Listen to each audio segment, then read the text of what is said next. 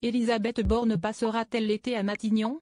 Son avenir politique semble bien incertain, après le passage en force de la réforme des retraites à l'Assemblée nationale et les manifestations qui se poursuivent en France.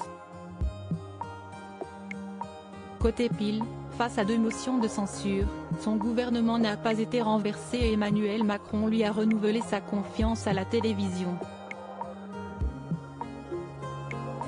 Côté face, les oppositions réclament sa démission, et la chef du gouvernement ne fait pas l'unanimité dans son propre camp.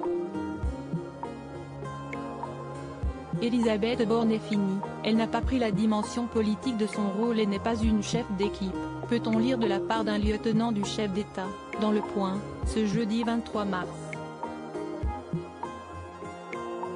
Cette même source a pointé du doigt le côté technocrate d'Elisabeth Borne, qui aurait sa part de responsabilité dans la défaite politique concédée par l'exécutif. Le même texte avec des gens plus habiles, se serait passé, ajoute-t-il au sujet de la réforme des retraites qui a été adoptée par l'intermédiaire de l'article 49. 3 de la Constitution.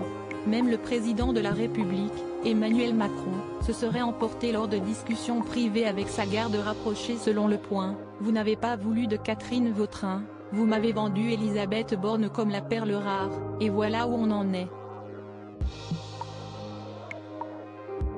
Le mari de Brigitte Macron faisait alors référence à son choix premier pour Matignon, qui était la présidente de la métropole de Reims mais qui n'avait pas obtenu les faveurs de l'aile gauche de la Macronie. Découvrez les ministres du gouvernement Borniki pour succéder à Elisabeth Borne Pour rebondir dans un climat social agité, Emmanuel Macron pourrait opter pour un remaniement gouvernemental dans les semaines à venir.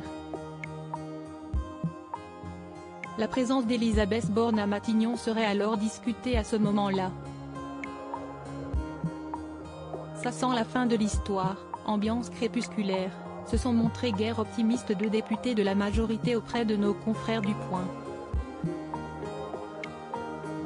Un élu proche d'Emmanuel Macron avance même qu'il reste deux, trois mois tout au plus, à l'actuelle première dame, avant d'être remplacée par un taulier, pas une technicienne de service. Dans ce sens, les noms de Bruno Le Maire, actuel ministre de l'économie, ou encore celui de Gérald Darmanin, ministre de l'Intérieur, sont régulièrement cités. À moins que le président de la République remette sur la table celui de Catherine Vautrin. Crédit photo, Amara Bedrabo Poul Best Image